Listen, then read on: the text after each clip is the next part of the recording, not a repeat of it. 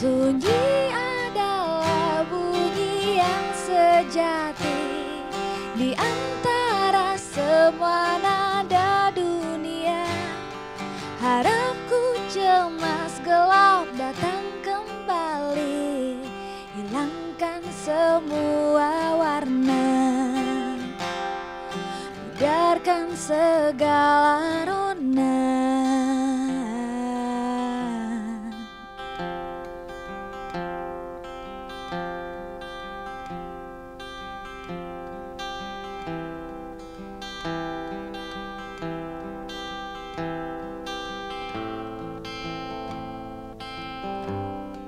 Mana ku simpan sahwat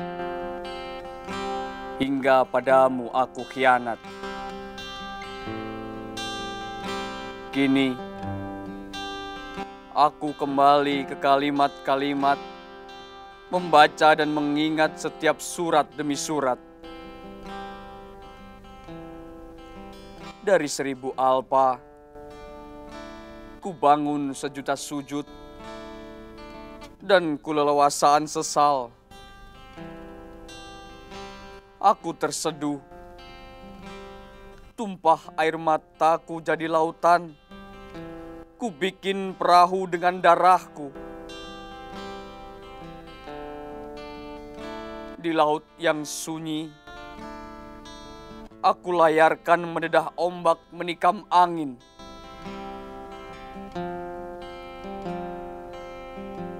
Bakar seribu alpaku. Sahwat ku tenggelamkan jadi buih.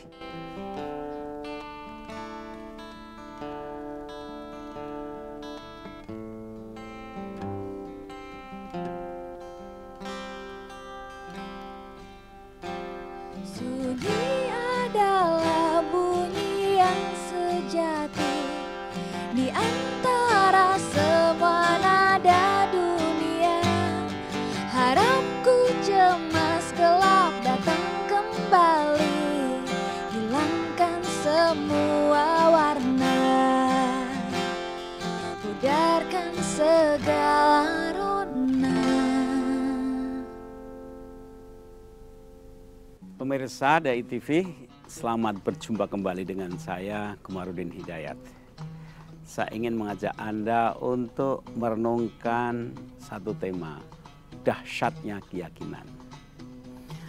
Dalam hidup sehari-hari ini kita pasti punya sikap percaya dan ketika kepercayaan itu begitu mengental maka menjadi yakin dan keyakinan itu akan menggerakkan sebuah tindakan keputusan.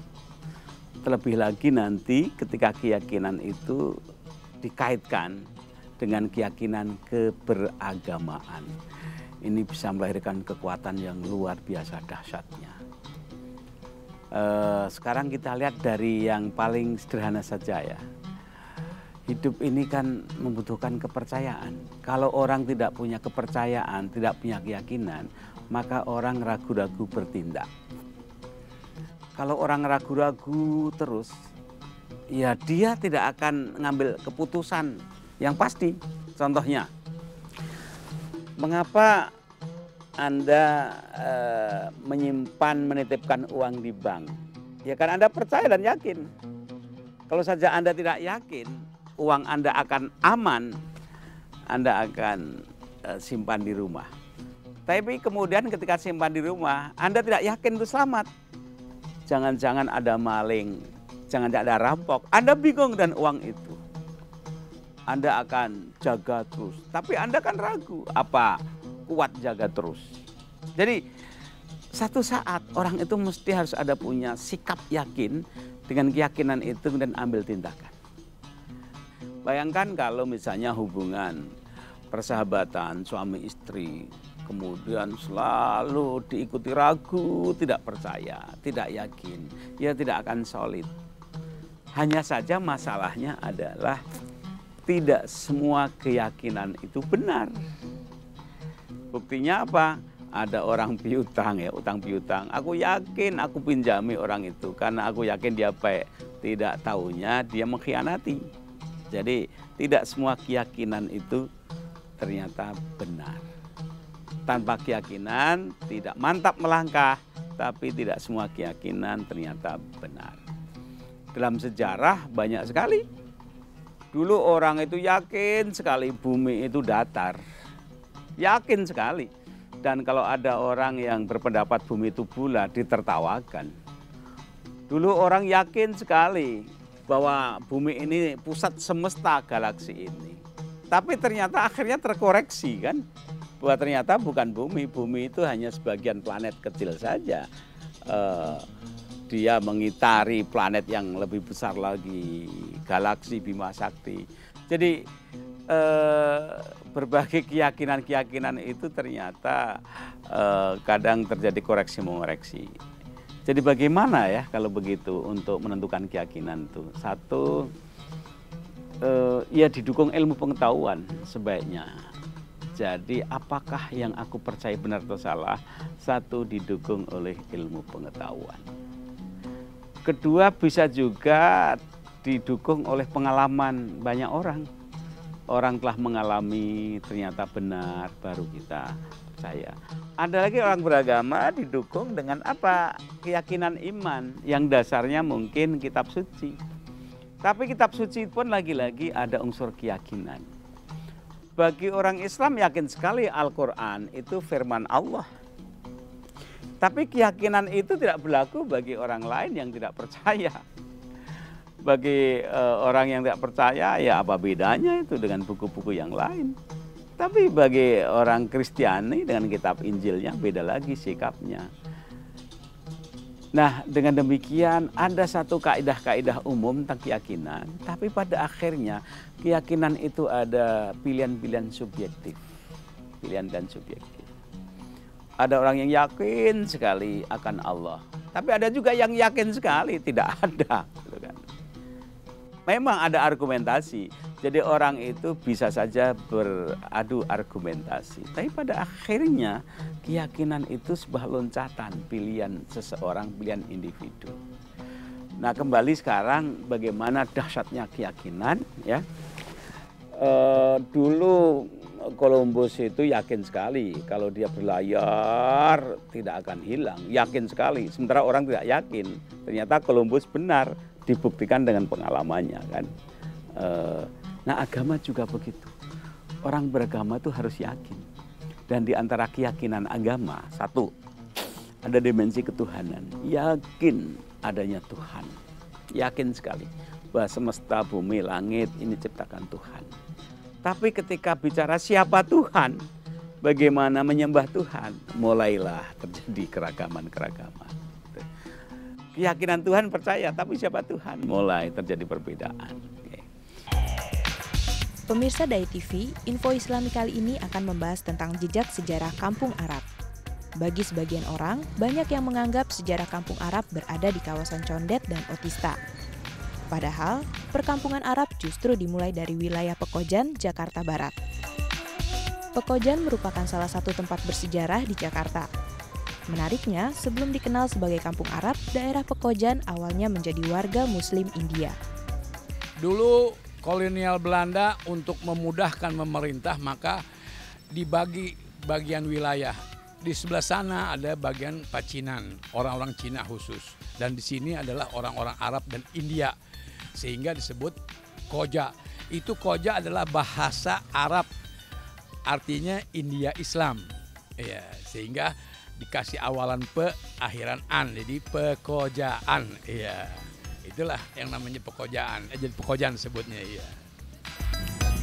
Daerah Pekojan kemudian ditetapkan sebagai kampung Arab oleh pemerintah Hindia Belanda pada abad ke-18. Saat itu, kebijakan pemerintah Belanda mewajibkan kepada para imigran yang datang dari Hadramaut atau Yaman Selatan untuk tinggal di wilayah Pekojan.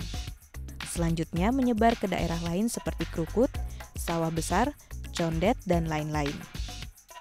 Uh, dari mulai uh, apa namanya pasar ikan atau Sunda Kelapa sampai kemari dan mereka uh, lebih cenderung kemari sebab pasar ikan masih banyak orang-orang Bugis, orang apa namanya orang Ambon, orang yang lain. Nah, mereka lebih uh, memilih kampung ini karena ini agak lebih tenang dan lebih tentram sehingga mereka uh, dari Sunda Kelapa memilih wilayah di Pekojan ini.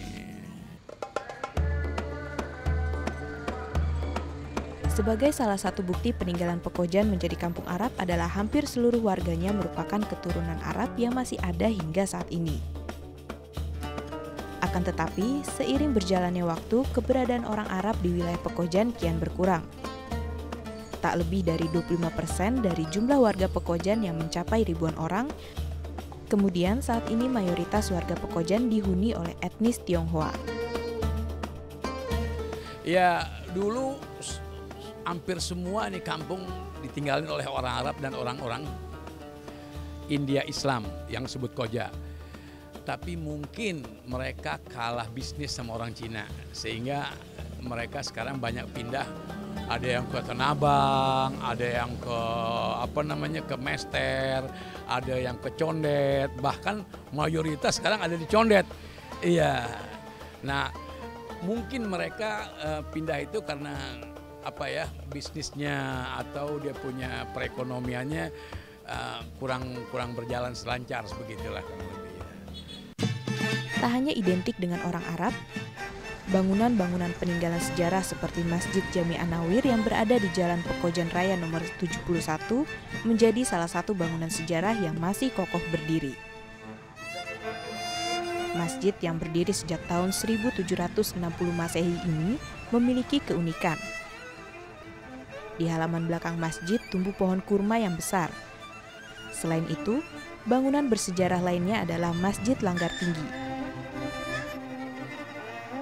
Berjarak hanya sekitar 160 meter dari Masjid Jami Anawir ke arah timur.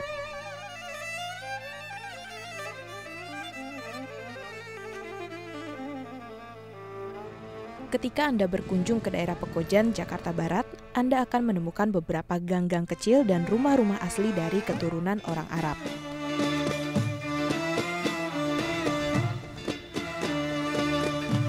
Salah satu warga asli orang Arab yang masih tetap bertahan tinggal di daerah Pekojan adalah Salim bin Ali bin Zaidan atau biasa dipanggil Salim. Salim merupakan generasi ketiga dari keturunan Arab yang singgah ke Indonesia Kurang lebih 50 tahun beliau tinggal di daerah ini. Kakek, kakak saya itu dari Yaman. Dia datang tahun berapa saya nggak tahu. Yang jelas dia punya anak di Hadramut namanya Ali. Nah Ali Zaidan ini datang tahun 20, 1920 masuk ke Indonesia. Singkatnya dia kawin yang banyak anaknya di Banten. Sama tuh bagus Marfu'ah dapat anak 16 dari itu bagus marfu'ah yang sekarang sih saya tinggal saya sendiri tinggal saya sendiri Sejak lahir, Salim sudah tinggal di daerah Pekojan. Beliau menikah dengan wanita keturunan Arab dari Bogor, kemudian memiliki 8 orang anak dan 16 cucu hingga sekarang. Dari kedelapan anaknya, saat ini Salim ditemani oleh anak terakhirnya yang bernama Zurzi bin Salim bin Zaidan. Zurzi pun dilahirkan di Pekojan sampai akhirnya menikah dan memiliki keturunan. Keluarga dari Salim bin Ali bin Zaidan merupakan keluarga yang turun-temurun tetap menjaga keutuhan kampung Arab ini. Kalau di Arab itu ada istilah mempertahankan uh, sampai keringat terakhir lah rumah uh, dari leluhur. Karena di situ ya insya Allah keberkahan. Ya, ya alhamdulillah sampai saat ini masih uh, ayah saya yang bisa mempertahankan itu. Dan rata-rata orang Pekojan juga begitu. Selagi bisa dia pertahankan dia akan pertahankan di sini Melihat keberadaan orang Arab di Pekojan ini tak lepas juga dari beberapa tradisi yang dilakukan secara turun-temurun. Salah satu tradisi yang masih dijalankan oleh keluarga Salim adalah melakukan open house atau kunjungan bagi warga sekitar untuk bersilaturahmi seusai sholat Jumat untuk datang ke rumahnya dengan menyediakan hidangan makanan. Hal ini dilakukan baik di bulan-bulan istimewa seperti bulan Ramadan maupun di hari-hari biasa. Tapi secara umum kalau eh, tradisi yang sifatnya eh, lingkungan ya, kayak misalnya siar-siar, alhamdulillah sampai sampai hari ini masih bertahan karena Pekojan ini menjadi salah satu basis eh, penyebaran eh, keagamaan dari zaman eh, pendatangnya dulu. Dengan banyaknya tradisi dan peninggalan sejarah kampung Arab Pekojan, ini merupakan satu dari banyaknya kebudayaan Arab yang harus tetap dijaga keutuhannya, agar generasi berikut tetap mengetahui adanya keberadaan keturunan orang Arab di Indonesia. Ketika orang bicara keselamatan, di sinilah berbagai agama itu kemudian eh, sering eh, timbul gesekan-gesekan. Bahkan ada yang mengatakan surga itu nanti satu dan hanya kelompokku yang masuk surga, yang lain tidak. Gitu kan. Nah sekarang ini eh, sering terjadi satu konflik-konflik hubungan keyakinan antara agama, eh, yaitu keyakinan, namanya keyakinan. Tapi ketika dengan kekerasan tidak bagus. Ada lagi tentang keselamatan tadi, ya nanti masing-masing masuk surga sesuai dengan keyakinannya. Oh, tapi keyakinan itu juga banyak yang memberikan kontribusi positif. Keyakinan bahwa Tuhan itu maha kasih sayang, manusia itu penyebar kasihnya. Maka banyak orang berbuat baik, uh, juru damai karena keyakinan agamanya. Ini, ini kan unik ya. Ada orang yang berani mati kalau perlu bunuh diri keyakinan agamanya. Tapi ada juga dan banyak orang yang uh, membela kedamaian peradaban justru karena pemahaman keyakinan agamanya. Kalau sudah demikian kita kembali saja. Sungguhnya awal mula agama-agama diturunkan untuk apa? Saya yakin ya kalau kita membaca sejarah itu merupakan manifestasi kasih Tuhan untuk manusia. Tuhan itu maha pencit apa ya kasih sayang pada ciptaannya. Orang tua saja itu sangat mencintai pada anaknya kok. Padahal anaknya itu kan sungguhnya bukan miliknya, itu titipan Allah. Itu pun orang tua sangat peduli mencintai. Lebih-lebih Allah. Allah juga sangat peduli mencintai pada manusia puncak ciptaannya. Karena pedulinya kemudian dikasih fasilitas apa pun. Bahkan dikirim utusan sang guru untuk membimbing manusia. Kemudian dikasih tahu ini baik, ini buruk. Satu, jadi agama itu penyebar kasih sayang. Kedua, agama itu ya sumber kekuatan perdamaian, peradaban. Oleh karena itu, semua agama pada awalnya mesti bicara tentang bangun akhlak yang baik, kasih sayang, perdamaian, keadilan. Kalau toh agama pada awalnya terlibat perang, ya karena terpaksa, karena ada orang yang memusuhi sehingga dihadapi dengan perang. Tapi sesungguhnya agama diturunkan bukan sebagai mesin perang, tapi itu mesin peradaban. Sebagaimana Indonesia, Indonesia ini berdiri lewat peperangan. Tapi Indonesia didirikan kan bukan sebagai mesin perang, tapi untuk membangun kemanusiaan peradaban. Walaupun awalnya terlibat peperangan. Nah kembali pada keyakinan tadi, jadi keyakinan itu akan dahsyat sekali, tapi sebaiknya didukung tadi oleh ilmu pengetahuan, oleh semangat cinta kasih, semangat membangun peradaban, sehingga keyakinan itu menjadi suatu kekuatan yang dinamis untuk majukan uh, Indonesia ini. Uh, sekali lagi bahwa kalau kita ragu terus ya kita nggak akan bergerak. Tapi ingat ya bahwa keyakinan tidak selalu benar. Nah, keyakinan akan semakin kuat ketika didukung berbagai tadi argumentasi, pengalaman, penalaran, kitab suci telah terbukti. E, oleh karena itu, silahkan masing-masing punya keyakinan berbeda-beda. Tapi tolonglah keyakinan itu jangan kemudian saling dibentur-benturkan sehingga menjadi kekuatan destruktif bukannya konstruktif dan sinergis. Demikian insya Allah kita berjumpa pada lain kesempatan. Assalamualaikum warahmatullahi wabarakatuh.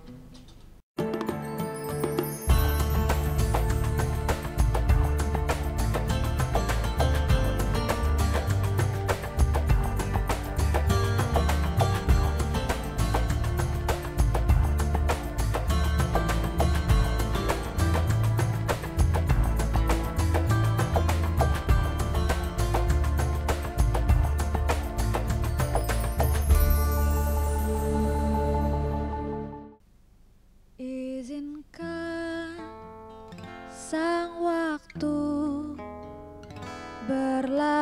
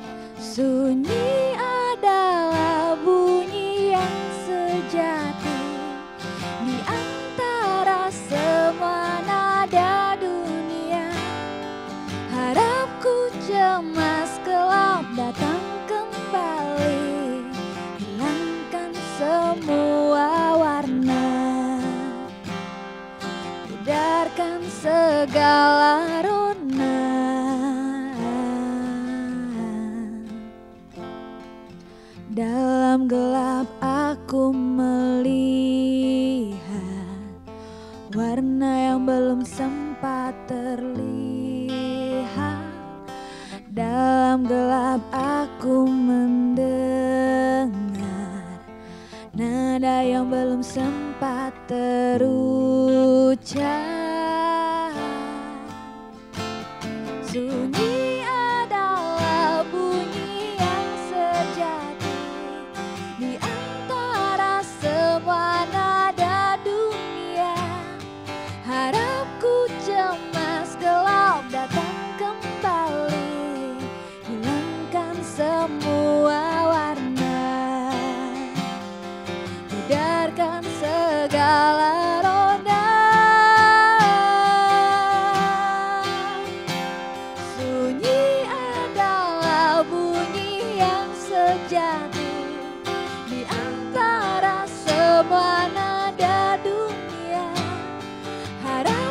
cemas gelap datang kembali Hilangkan semua warna Pudarkan segala rona izin.